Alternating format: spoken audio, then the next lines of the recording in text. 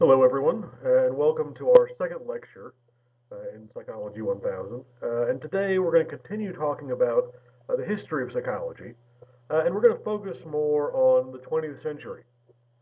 So, more modern psychology, sort of psychology uh, as it is today. Uh, so, what are we going to talk about? so, we're talking about the more modern era, so the 20th century into the 21st.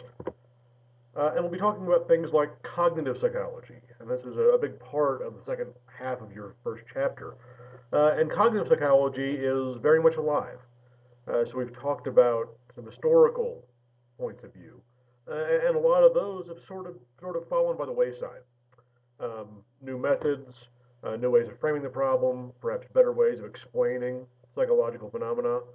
Uh, but cognitive psychology uh, sort of supplanted behaviorism, as we'll see, uh, and and kept some of behaviorism's positive points, uh, but updated the methods and, and updated the thinking uh, so that it could be a little more comprehensive.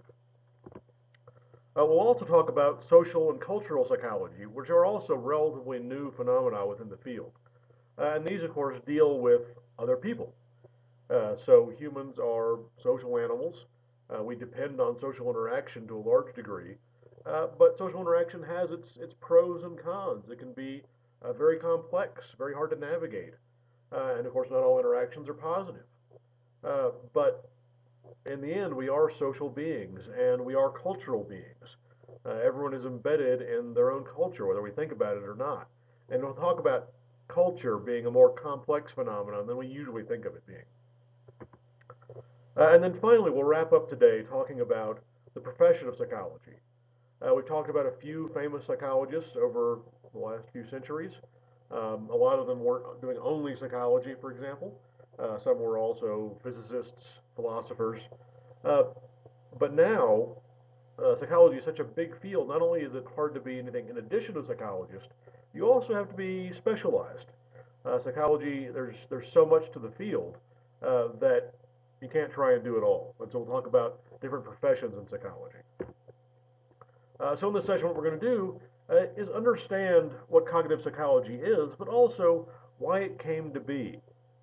Uh, it's going to be, a, as we'll see, sort of a response to behaviorism. Uh, again, keeping a lot of the positive qualities, uh, but also updating it and making it a little more comprehensive.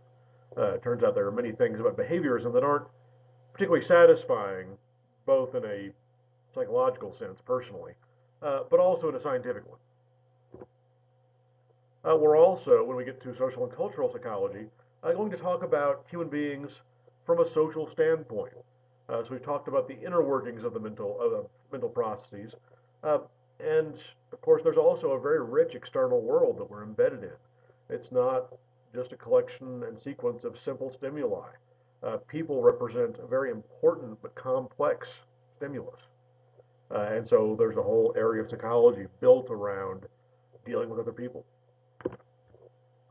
Uh, and then we're going to talk about those other professions in psychology and, and, learn how many different roles there are, different ways of approaching psychology, different ways of employing psychology.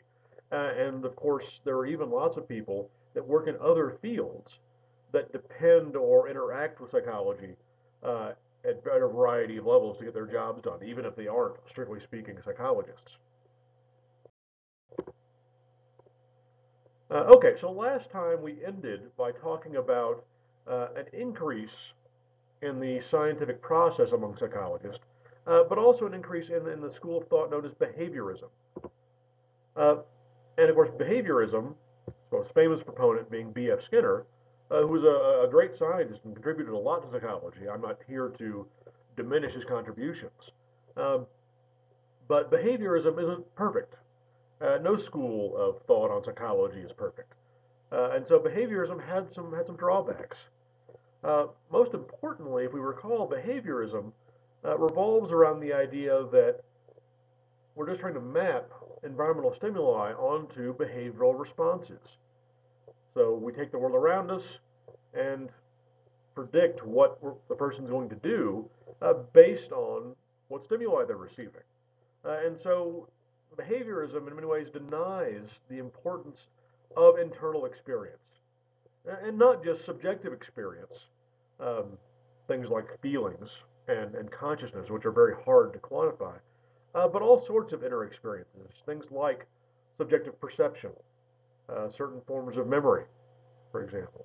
Uh, and then so behaviorism, again, in, in, an effort to be simple and to be tractable, to be doable uh, in a scientific setting, uh, sort of cast aside some important parts uh, of psychological function.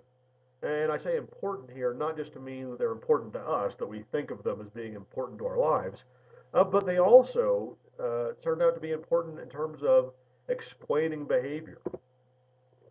Uh, and so behaviorism is very much about learning, right? Pairing uh, an environmental stimulus, the response, getting reinforcement uh, that either increases or decreases the likelihood of, of making that behavior again. Uh, and behaviorism really can't explain everything. Uh, it can't explain some kinds of learning, as we'll see when it comes to things like language. Uh, that even if a child has not heard a particular sentence before, uh, or has never generated a particular sentence before, they can still do so, uh, even though they haven't been exposed to that particular stimulus. They can still generate new sentences, understand new sentences.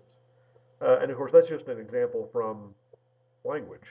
Uh, there are also certain forms of learning that are faster than others. Uh, and behaviorism itself can't explain that. Uh, right, so behaviorism, all forms of learning should be equal uh, if the stimuli are about equal and the reinforcement is about equal. But it turns out certain forms of learning are easier than others. And behaviorism couldn't address that, and so that needed to be updated. Uh, so it also ignores the influence of evolution. One of the reasons that certain forms of learning are easier than others uh, is due to evolution. So for your book gives the example uh, of animals that learn to pair uh, foods with the experience of nausea and learn to avoid those foods. And they learn that quicker than if a light or a sound is paired with nausea.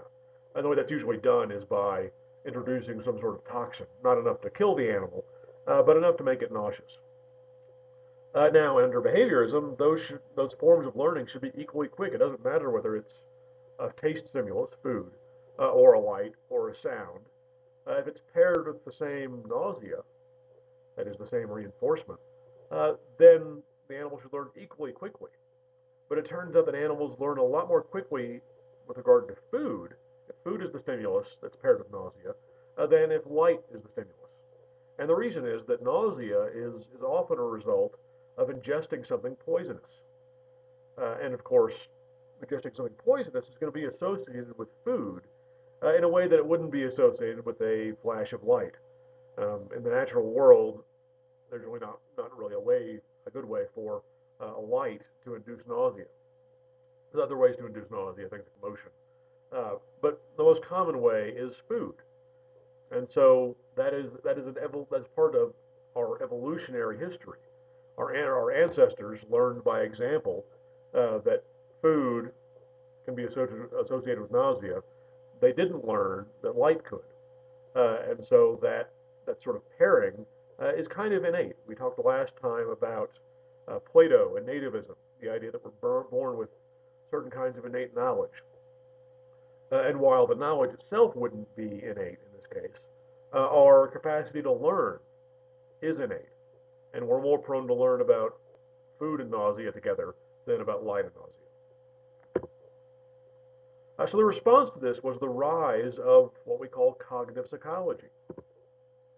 Uh, and so cognitive psychology, the, the word cognitive, uh, relates to cognition, thinking, uh, internal mental processes. Uh, and so what cognitive psychology did was it retained the good parts of behaviorism, uh, and while adding on some things uh, that behaviorism was lacking.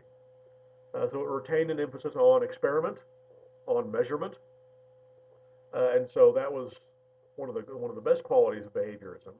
Uh, it wasn't a collection of of introspections. you did experiments, you measured things quantifiably, uh, but what cognitive psychology also did was it acknowledged the existence and the importance of those internal mental processes, things like cognition, uh, things like consciousness, attention, Uh, and then these are things that behaviorism had, had perhaps not denied explicitly, but certainly had downplayed. Uh, but as it turns out, these are important parts of our cognitive world, uh, important parts of our psychology. And without them, we can't really explain a lot of behavior very well.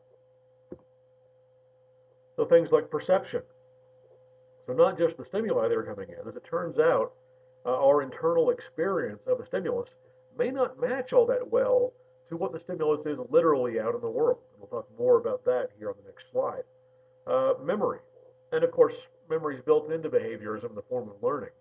Uh, but the subjective experience of memory, the fact that memory is not a perfect record uh, of what one has experienced, that is an important part of cognitive psychology. Uh, the ability to reason, uh, to think logically, to forecast consequences, uh, whether perfectly or not, uh, that's an important part of cognition. And so it became a part of cognitive psychology. Uh, okay, but before we get to full-fledged cognitive psychology, there are a couple of influences on the discipline uh, that need to be mentioned. They are themselves not, strictly speaking, cognitive psychology, uh, but they helped inform the discipline. They helped shape it uh, in those early years. Uh, and one of these is Gestalt psychology.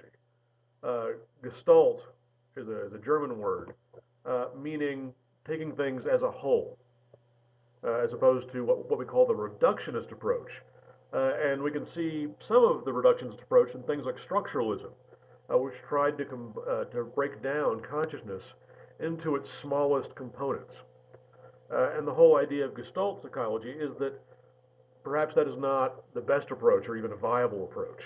Uh, that by breaking things down into components, you, you miss some important part of psychological function. Uh, the whole is more than the sum of its parts, uh, is, is, is, a good summary of this, of this sentiment. So by breaking things down into the simplest possible stimuli, uh, you're not really describing things at the level that we experience them. And a lot of this work was done by looking at perceptual errors and illusions. Uh, so you have the literal stimulus, uh, often a visual stimulus, but for whatever reason, the participant doesn't experience the stimulus in terms of what it literally consists of.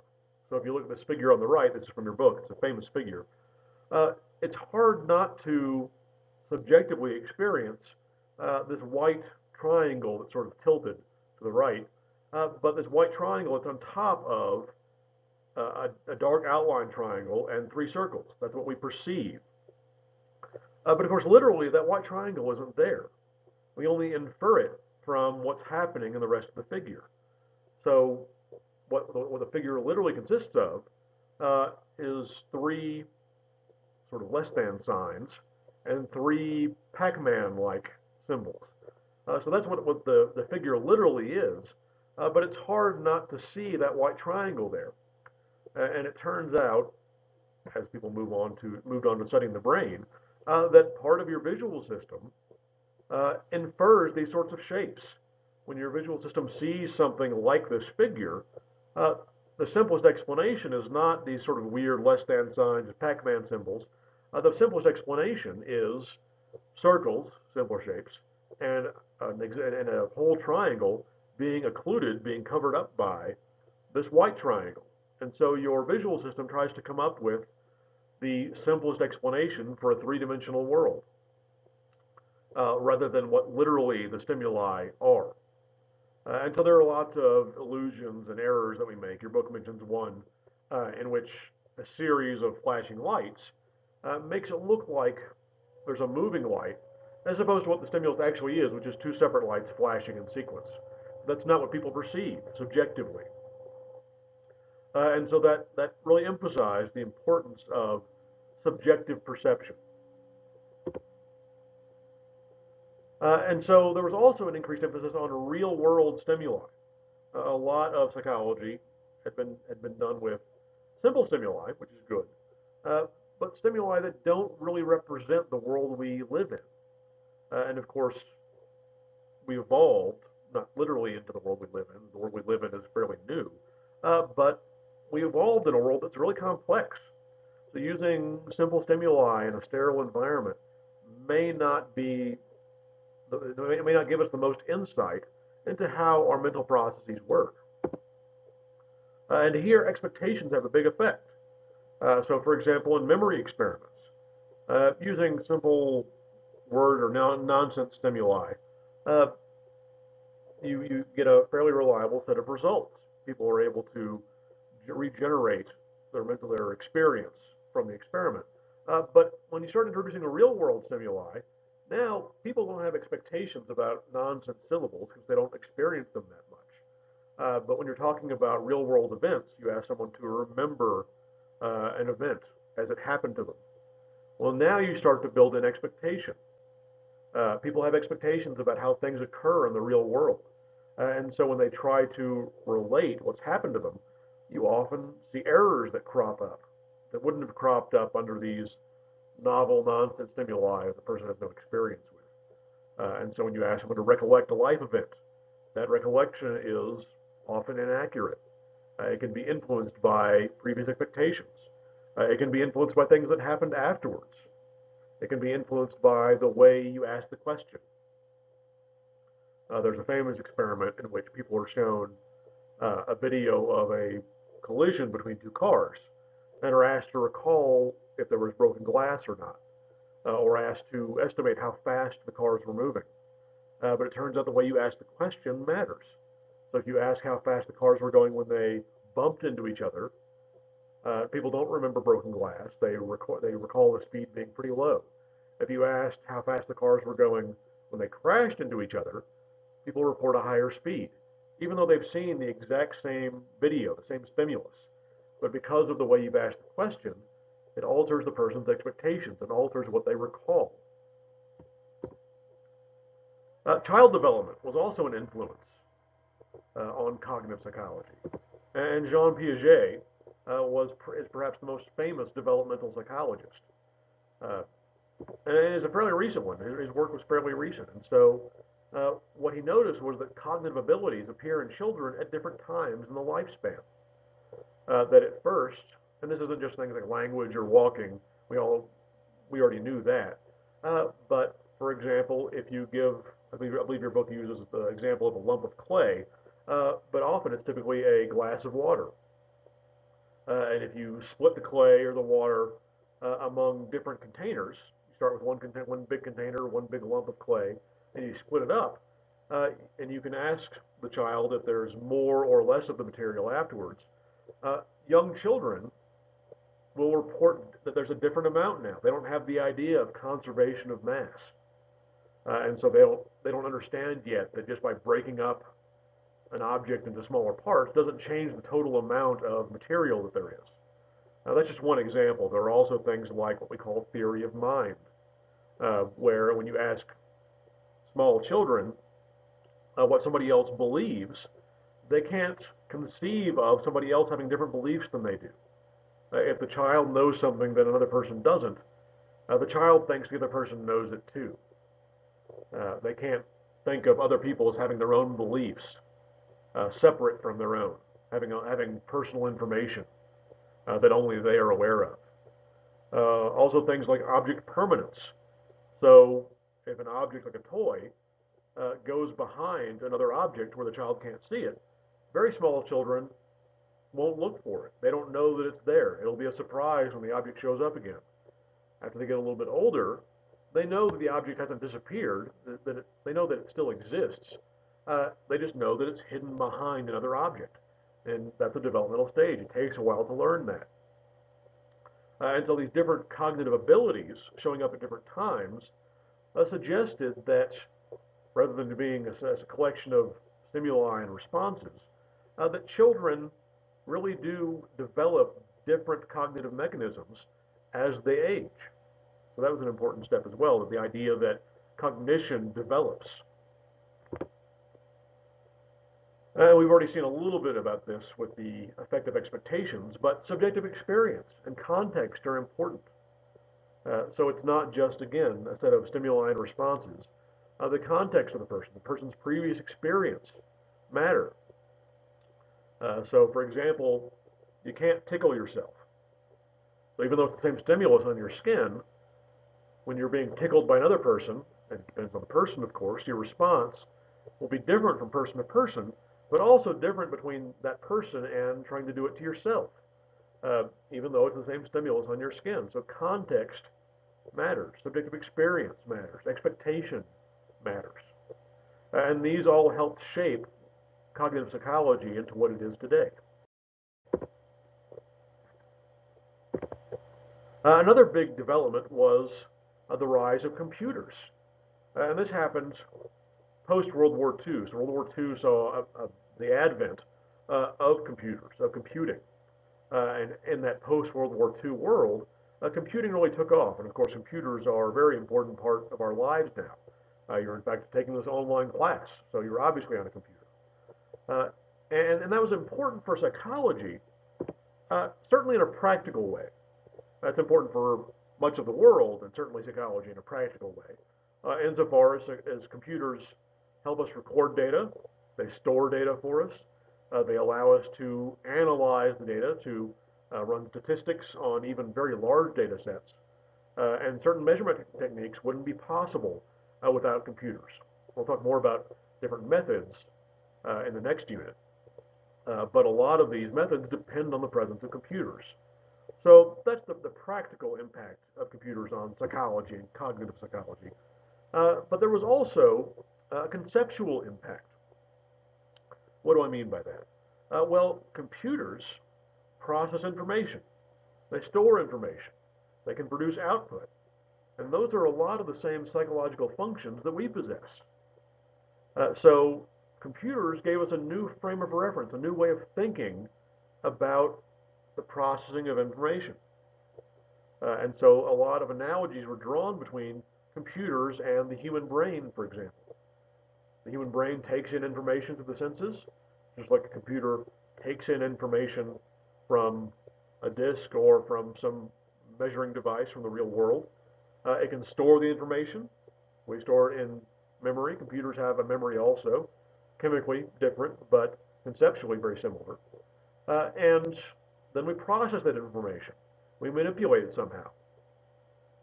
Uh, and then, of course, eventually we can produce an output. A computer produces, in the early days, a, a printout or an answer of some sort. Uh, nowadays, computers can produce all sorts of output, uh, especially if they are involved in robotics. You can actually have a behavioral output.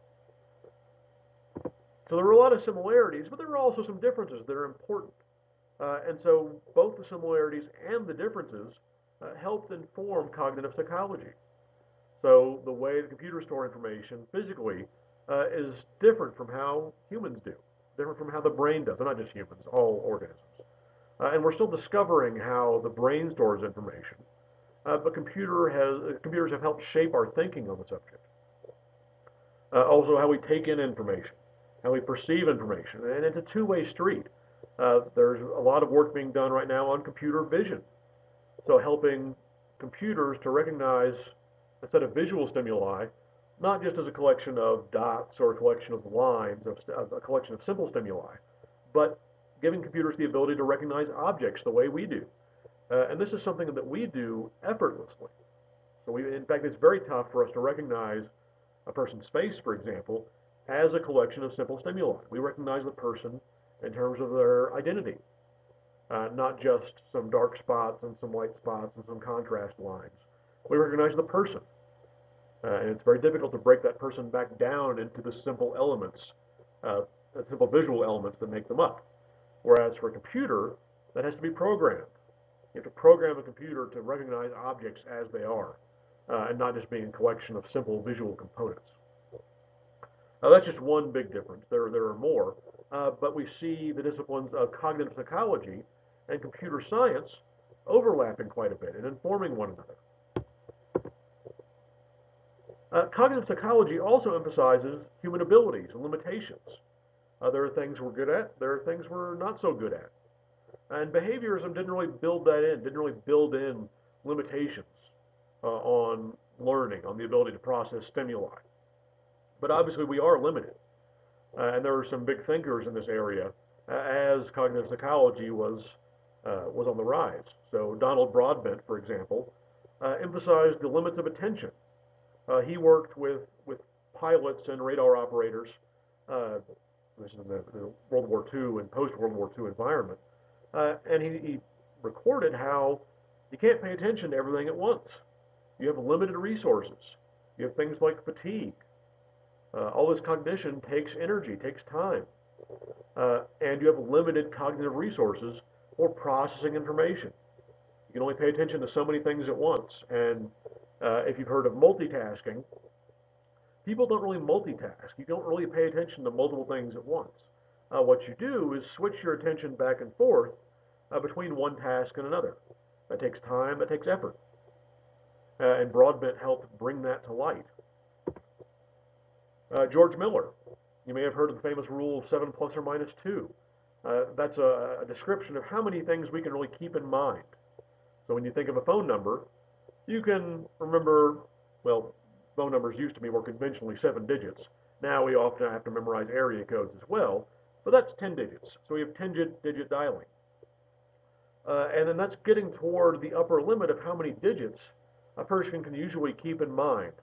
Uh, and you can increase that a little bit, and you can, and there's variance from person to person. Uh, but if phone numbers were 20 digits long, people would have a really hard time remembering that information long enough to dial the phone. Uh, and so George Miller emphasized the limits of what we call working memory. We'll get more to that in a few weeks. Uh, but our ability to retain information fresh in our minds has limits. We can only hold so much. Uh, and then you have people like Noam Chomsky, uh, who gave us insights into language. Uh, and so behaviorism uh, again, has this idea that you learn purely through experience. Uh, and Chomsky said, well, wait a minute, that's not quite right, because you can generate entirely new content you never experienced before.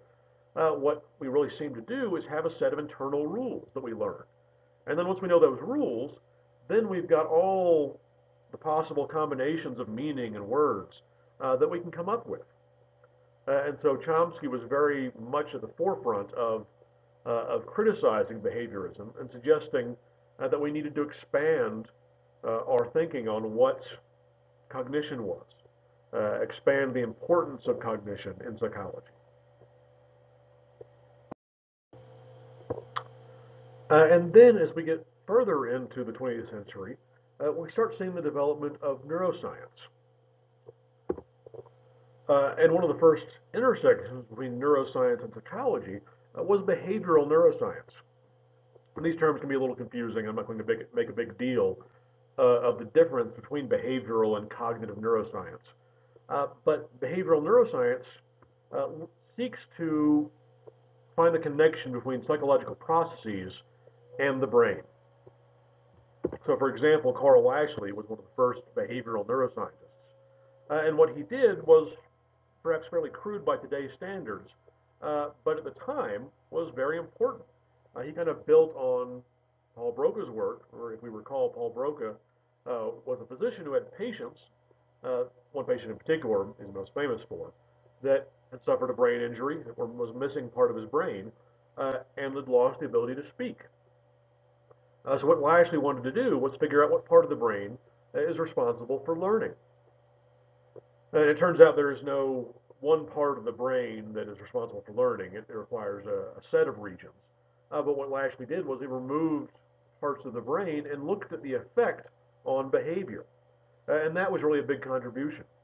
So being methodical, you're still using controlled experiments, not depending on accidents like Broca did, uh, but being very careful about which parts of the brain were damaged or removed, uh, and then measuring quantifiably uh, what changed about the individual's behavior. And here, this is working with animals. Uh, you can't remove parts of somebody's brain just to see what happens. That wouldn't be ethical. Now, of course, people lose parts of their brain due to accidents uh, all the time. Things like accidents, stroke, uh, cancer. Uh, and so these provide sort of accidental experiments. But Lashley was doing controlled experiments in animals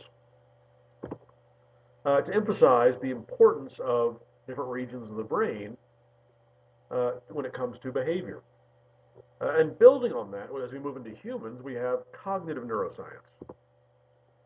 So here we're linking those higher functions to brain activity. So not just to the, the structure of the brain, but actually looking at whether neurons are active or not, neurons being brain cells. Uh, where is the brain active? How is it active? When is it active? Uh, when somebody is thinking, when somebody is experiencing a feeling, uh, when somebody is trying to recognize an object. Uh, these are all cognitive processes, trying to remember something. Uh, and so looking at the connection between brain activity, not just brain structure, uh, but brain activity and cognitive processes. Uh, and here the focus is really on humans. Some cognitive neuroscience uh, is done in animals, especially uh, non-human primates like chimps and monkeys. Uh, but the focus is really on humans because, to our knowledge, there are capacities that only humans possess. Um, there are open questions as to the range of emotions that animals experience, uh, their memory functions, uh, their ability to use language, for example. Uh, and there's certainly evidence that animals can do some of these things to certain degrees. But we know that humans do. Uh, and especially when it comes to dysfunction, we are primarily interested in human brain function. Uh, and again, we can't go in cutting up brains in controlled experiments. So there, there's an emphasis on non-invasive techniques. Uh, and your book doesn't define what non-invasive means, but what non-invasive means is you're not cutting into the body. You are not introducing an implement into the body. You're not damaging brain tissue or other parts of the body. Uh, and so non-invasive generally means it doesn't harm the body in any way. The person will be the same after the experiment as they were before. Whereas things like lesion studies in animals where you damage part of the brain, the animal's not the same afterwards. Again, not ethical to do that to human beings, uh, and so the emphasis is on non-invasive techniques. Here we see an image uh, of what's called functional magnetic resonance imaging, or fMRI. Uh, and this is a non-invasive technique we'll talk about in a later unit.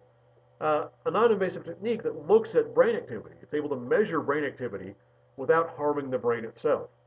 And this is actually the technique that I use in, in my research. It's become increasingly popular uh, since its discovery 25 years ago. Uh, but you can look at brain activity while a person is thinking about something, or feeling something, or making a decision, or trying to recall a memory. And so each of these is a different cognitive process, uh, and it causes a different pattern of activity in the brain. And so we can see, using a technique like this, what the relationship is between activity in a certain region or at a certain time in the brain and the cognitive process that it accompanies. Uh, another discipline that, that sort of came about at the same time as cognitive psychology is evolutionary psychology. Uh, and here, this is a, looking at psychological processes uh, through the lens of evolution, much the way that William James did. It's sort of an update to his process. Uh, and here the idea is that brain structure and brain function evolved through natural selection. Uh, so our, our bodies, the way our bodies are organized, uh, evolved by natural selection. Uh, and brain structure did there, you know, brain structure is part of our anatomy. Uh, and so if the brain evolved through natural selection, that means that the functions that the brain produces also evolved by natural selection. Uh, and so it sort of reiterates William James's idea of brain function and behavior uh, being adaptations. That these things evolve, our capacities evolve, uh, in order to help us survive. So some behaviors are more adaptive than others, uh, and some and because behavior is produced by the brain, uh, the brain can evolve to produce these behaviors, uh, or at least make the behaviors more likely. Uh, adaptive again here means uh, increasing the likelihood of survival. So you adapt to your environment uh, over an individual time scale, but also an evolutionary time scale. Uh, and so as organisms behave, interact with their environment, some strategies are better than others. Uh, the ones that are really bad obviously don't survive to reproduce for the next generation. Uh, so the animals that are better at reproducing are those that produce behaviors that enable them to survive and reproduce. Uh, so here the framework is to look at the mind and behavior uh, in terms of survival. What benefit uh, does this behavior confer? What benefit does this cognitive capacity give us? Uh, if, it, if it's not good for anything, then why do we have it? Why would we evolve it? And there are some evolutionary accidents, to be sure, uh, but what we often see is a kind of trade-off. So you might think, well, uh, why, are, why aren't our brains better? Why don't we have bigger brains that can process more information? Why would we evolve something with these cognitive limits? Uh, memorizing seven pieces of information, that's not that many. So why would we have that limit if we, if we could just expand our brains and have a better capacity? Well, there's a trade-off. Uh, if you have a bigger brain, well, A, you have the weight of it to carry it around. That's going to take energy. You also have to take the energy to run it. So your, the brain is one of the most energetically expensive uh, organs in the body. The heart and liver, along with the brain, are the top three. The brain uses a lot of energy, considering it's only about three pounds of your body weight. Uh, and so if you had a bigger brain, you'd need to feed it even more energy. And that's energy that can't be used for other things. That's energy that you have to go out and find. Uh, and so evolution has made these trade-offs, has found these sort of compromise points between having an unlimited capacity and having to find unlimited resources or devote unlimited time to support those capacities. So there's sort of a happy medium, we think. Uh, so the question is, why would certain traits or behaviors evolve at all? Uh, when we see an interesting behavior, why do we have that in our behavioral repertoire? Uh, well, the most obvious is that it's a better response to a given stimulus. Uh, so your book uses the example of uh, mice and rats preferring, that is moving toward, uh, dark enclosed spaces. So, and you can test this behaviorally. There are uh, experimental setups where you give a mouse or a rat two options. It chooses between a, a giant open, open, brightly lit space and a smaller, dark enclosed space.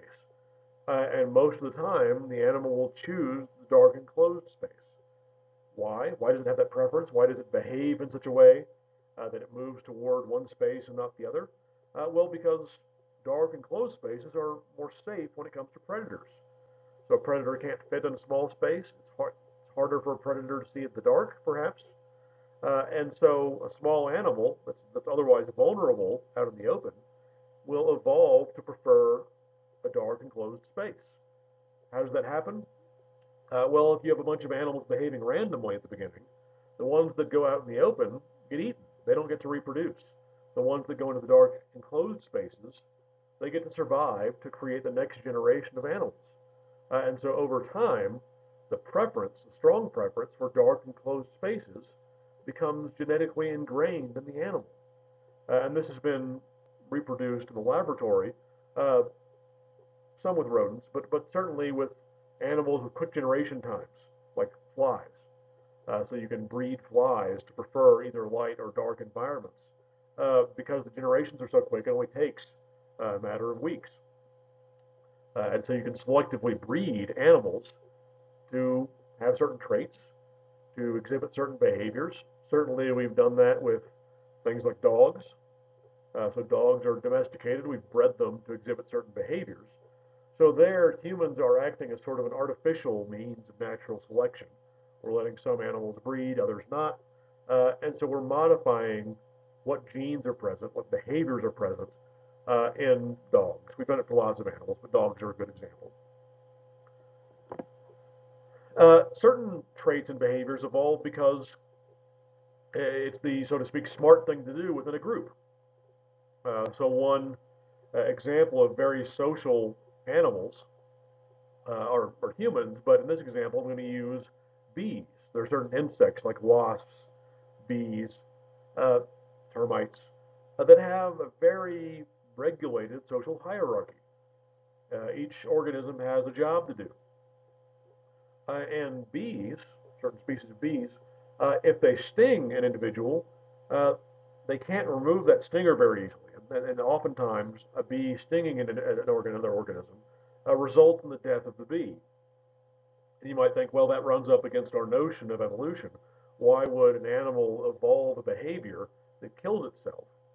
Uh, and the answer is that genetically, uh, a population evolves uh, sometimes at, at, at, at, that large genetic level. Genes don't care about a single individual, so to speak. Genes don't, strictly speaking, care about anything. Uh, but genes will sacrifice one individual if it means lots of copies of that gene survive in the other individuals. So a behavior that might be damaging to an, a single individual uh, might actually be adaptive, might evolve to become prevalent, common, uh, if exhibiting that behavior helps the gene survive in the group. Uh, bees are very genetically related to one another, uh, and so a bee can sacrifice itself uh, if that sacrifice means that its genes survive in its relatives.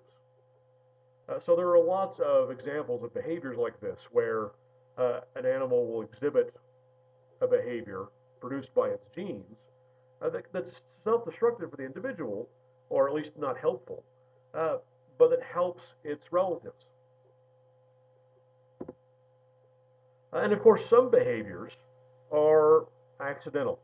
They're, they're byproducts of the real consequences of, of, the, of the gene being present.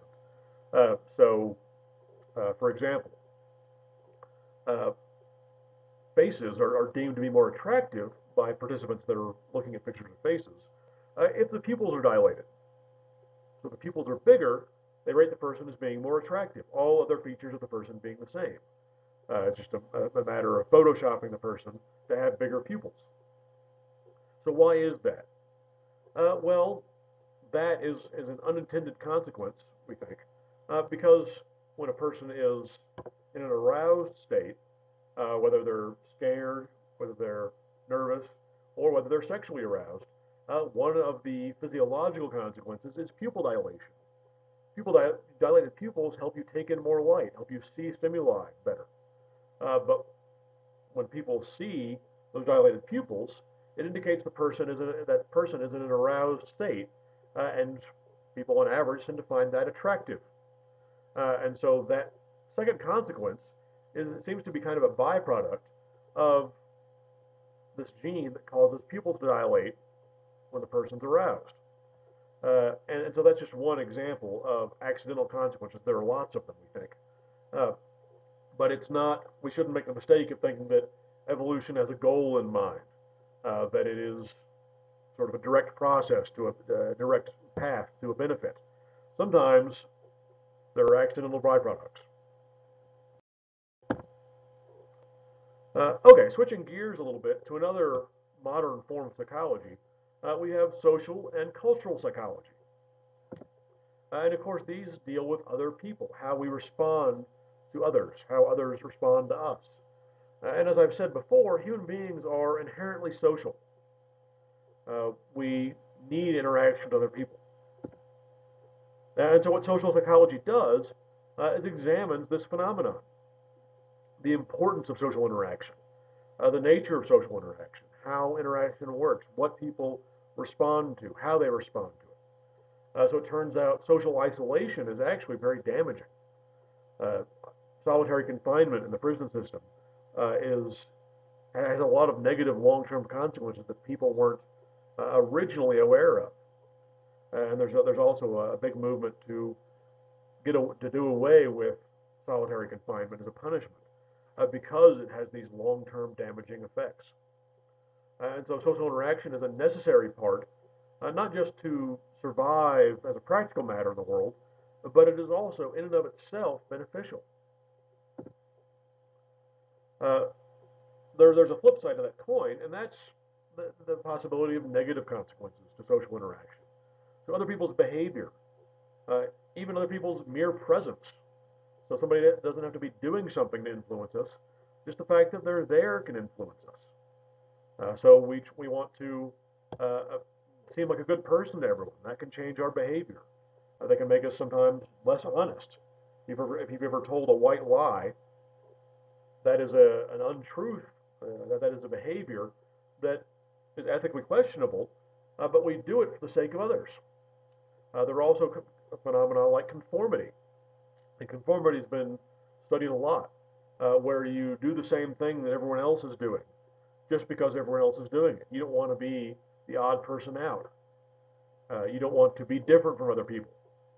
Uh, and that can be a problem when other people are doing something unethical. So a lot of this research came post World War II when people were curious how something like Nazism could become so common when it's so obviously unethical. Uh, and the fact is, there was a big part to play on, uh, with conformity. So people were conforming to what the majority of the group was doing. Uh, and so a lot of research has been devoted to conformity, uh, to things like groupthink, uh, which is a phenomenon by which uh, a group will decide on a poor course of action because no one wants to disagree with the leader or wants to disagree with other people. That we have a, an, an inherent tendency to be agreeable, to not be a problem member of a group. And that can have benefits, but also can have real con negative consequences uh, when a group does something bad. Uh, so that's social psychology. There's also cultural psychology, which is a relatively new phenomenon. And so that looks at the effects of culture. Uh, and when we say culture, what often springs to mind uh, are cultures within our nation based on things like ethnicity, uh, but certainly differences between nationalities. Uh, so certainly Western European culture is different from East Asian culture. Uh, there are different rules for behavior. Uh, but we should not think of, of culture in so limited a fashion. culture, cultural differences exist between people of different socioeconomic statuses. So the well-educated versus the poorly educated, the wealthy versus the poor, uh, older and younger populations. So it's not just, and certainly uh, sex or gender-based culture.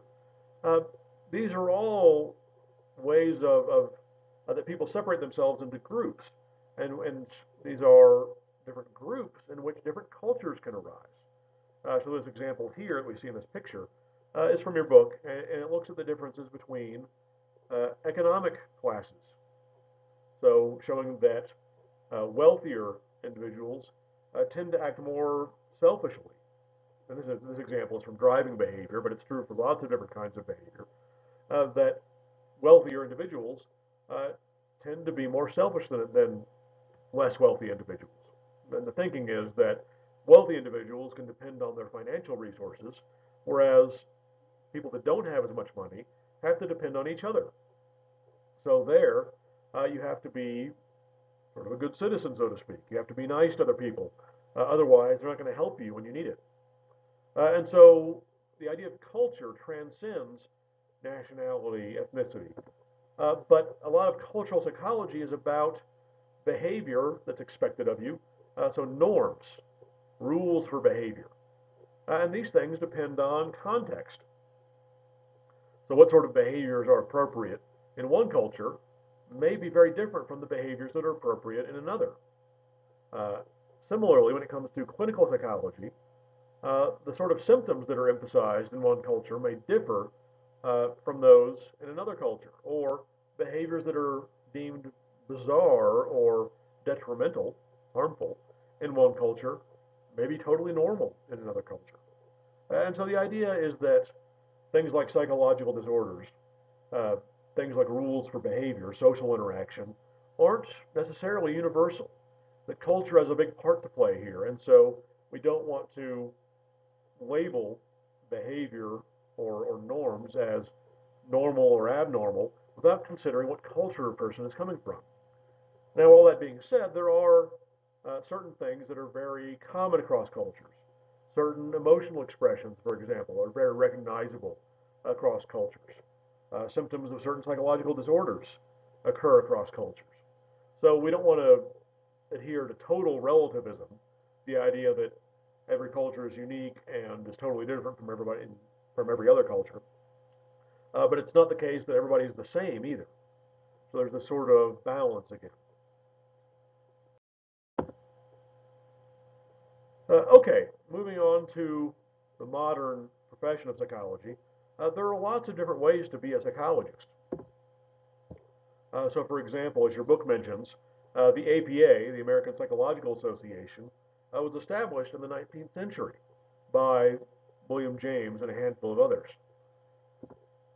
Uh, as time has progressed, uh, the APA has, and, and, psychology has grown, the APA has expanded beyond academic psychology uh, to include clinical psychology, other forms of psychology, and that's great.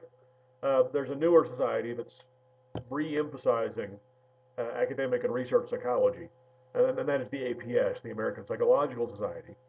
Uh, but the idea here is not to memorize acronyms and dates of establishment. Uh, the point is that psychology has become a very big field, and so you have these organizations uh, that promote psychology, uh, that help to connect individuals to one another uh, within the field, because it's no longer just a handful of people. Uh, also, as time has gone on, the membership of psychology has become increasingly diverse. Uh, so you have more women, more minorities involved in psychology. In fact, uh, the majority of people studying psychology are now women as opposed to how it started, which was exclusively male. Uh, so, for example, very early in the 20th century, uh, the APA had its first woman president. Uh, and then later in the 20th century, 1970, uh, the APA had its first minority president. And so these are signs that the discipline of psychology is, is expanding, not just in terms of what it looks at, what it focuses on, uh, but in also who is going to, who can be a psychologist, who wants to be a psychologist. Uh, and, and it's becoming a much more diverse field uh, as time goes on. And there are a lot of different ways to be a psychologist. There are a lot of different careers if you're interested in being one. Now, lots of people study psychology in college uh, and move on from there. Uh, it can be useful knowledge to have. It's certainly interesting. Uh, if you want to be a career psychologist, there are different ways of doing that. Uh, so, for example, we talked a lot about research, uh, and research in psychology is certainly a big field. Uh, so, for example, if after being a psychology major or really any major, uh, you can move on to graduate school in psychology, get a PhD, and do research in psychology for a living. Uh, there's also, of course, clinical psychology, which we talked about before. Uh, and clinical psychologists uh, are people that study psychological disorders. Uh, there's also psychiatry. and, and psychiatrists, of course, are people that are interested in psychology and treat patients, for example, uh, but they've also gone to med school. And so one important distinction there is that they're allowed to prescribe medication. Uh, and, and so psychiatrists are coming to psychology from a medical perspective, uh, or are uh, looking at psychological disorders uh, from a physiological perspective. Uh, you also, of course, have psychologists that aren't psychiatrists, but are still interested in treating psychological disorders. You have therapists, for example, that, that treat individuals not with medication, uh, but with behavioral therapy uh, by talking to them about their problems or talking about their symptoms uh, and trying to alleviate psychological disorders uh, that way. Uh, and psychology has gotten increasingly specialized as time has gone on. At the beginning, when you have people like William James, uh, James studied all aspects of psychology. You even had people who studied psychology and other disciplines like physics. Uh, but now, because it's such a big field and because we know so much more, it's very difficult to be well versed and to study every area of psychology. You have to specialize. So maybe you study attention, maybe you study memory, maybe you study language. Uh, and these are all different fields of psychology that you can specialize in.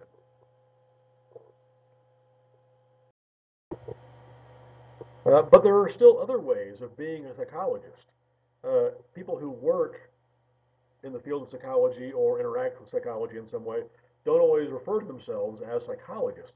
Uh, but psychology has an important role to play in lots of fields. Uh, so, for example, medicine. We were just talking about psychiatry. Uh, and psychiatry, uh, psychiatric disorders uh, represent a huge fraction of hospitalizations.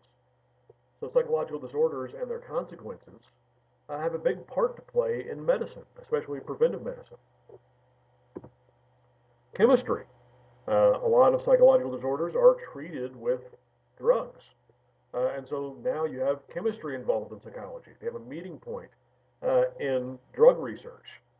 So the chemists need to develop the drugs, need to put the, the molecules together, uh, and then psychologists uh, have to diagnose symptoms, figure out how effective a drug is, if it's effective at all, what symptoms does it alleviate, what side effects does it have, uh, and those all require psychological measurement.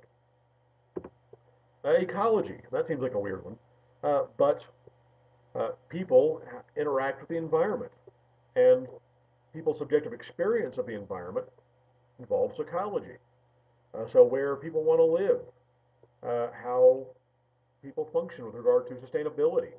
Uh, there are psychological processes involved here. People, again, have limited capacity. they don't always forecast the consequences of their actions all that well. Uh, and so short-sighted thinking uh, or selfish thinking uh, can influence the environment, can have a big impact on the environment. Uh, and of course, psychologists also do research uh, trying to figure out how to make people more environmental friendly, environmentally friendly, for example. How do you get people thinking about the environment? Uh, how do you get people to engage in behaviors that are helpful for the environment and for others? Business. There's a whole field of psychology called industrial and organizational psychology. Uh, and this field looks at business, looks at industry, uh, and how organizations function. Some function better than others. Uh, and that can be a function of how they communicate. Uh, it can be a function of the personalities involved. Uh, but IO psychology looks at business and industry uh, and looks at it from a social perspective. It involves a lot of interacting people sometimes with conflicting interests. How do you manage that conflict? Uh, how do you communicate effectively? And so business is heavily influenced by psychology. Economics. Uh, and of course, the, the world economy is a huge phenomenon, but it is composed at its most basic level of individual people making decisions. And now, if you have people making decisions, that involves psychology. So, how do people make decisions? How do people forecast consequences uh, of their economic decision making. Uh, so how do you save for retirement? How do you choose between consumer products? Uh, how do you interact with other people when it comes to money? Uh, and so economics is influenced by psychology. And economics has also influenced psychology. So uh, in my field, uh, we often look at decision making through an economic lens in terms of value. Uh, do people choose the most valuable option for themselves? Do they not? If they don't, why do they not? Uh, are there, is there a social influence at play? And so all of these different fields uh, influence and are influenced by psychology. Uh, okay, that will do it for this lecture. Uh, next time we're going to move on to the science behind psychology. Uh, so looking at methodology, and, and, and most basically, psychology is based on the scientific method, at least modern psychology is. Uh, as we've seen, uh, science has an increasing role in psychology and psychology research. And so we'll talk about the scientific method and how it's applied to psychology. Uh, and that will, that will determine how do you design uh, a psychology experiment? What makes a good experiment? What makes a not so good experiment? Uh, how do we really isolate the phenomenon that we're interested in? How do we measure it? How do we study it? Uh, and of course, once we run an experiment, then we've got the results, we have the data. What do we do with that? How do we analyze data? How do we understand data? How do we interpret it in a, in a meaningful way? How do we avoid over-interpreting it? We don't want data to tell us something that it can't actually tell us.